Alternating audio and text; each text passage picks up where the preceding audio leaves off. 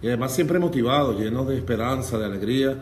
envío un saludo en cualquier lugar del planeta que se encuentre.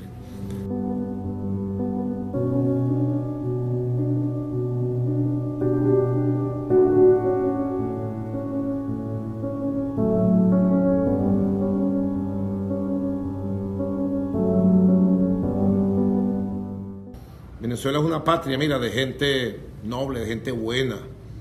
El que quiera venir a Venezuela lo invito, que venga a conocer un país bello, bello. Tenemos un país hermoso.